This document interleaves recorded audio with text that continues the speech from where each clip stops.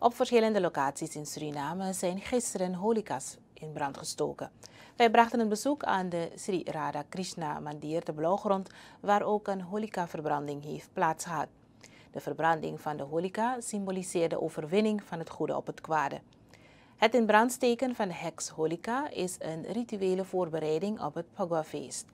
Roy Boudou, voorzitter van de vereniging Sri Sanatendaram Paramaribo Noord, zegt dat Pagwa een nationaal feest is dat door heel Suriname gevierd wordt, ongeacht het geloof of ras. Het holy is de overwinning van de goede op de kwade, van de recht op onrecht, van waarheid op onwaarheid. Dat is de betekenis van de holy. We verbranden de goede, de slechte en houden de goede achter.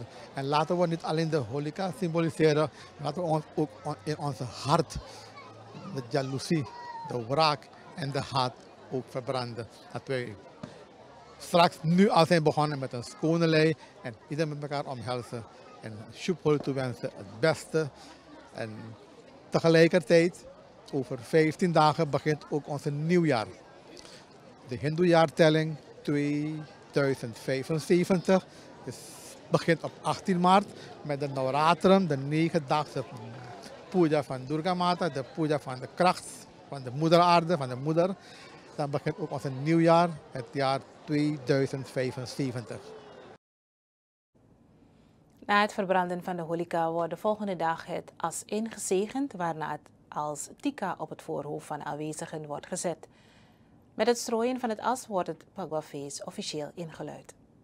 Twameva vidya dravinam twameva Twameva sarvam mama deva Om Shantakaram bhujagasainam Padmanabham suresham Vishwadharan gagan shadrisham Meghavarnam subhangam Lakshmikantam kamalanainam योगिर्ध्यानगम्यम वंदे विष्णु भवभयहरम शर्वलोकनाथम ओम मंगलम भगवान विष्णु मंगलम गणवध्वज मंगलम पुंडरी काक्ष मंगलाई तनोहरि हरिओम शांति शांति शांति ik wens u een heel prettige Pagwa feest Het inzegeningsgebed gebracht door de pandiet van de Sri Radha Krishna Mandir vanmorgen na de opruiming van het as van de verbrande holika op het terrein van de mandir te Blauwgrond.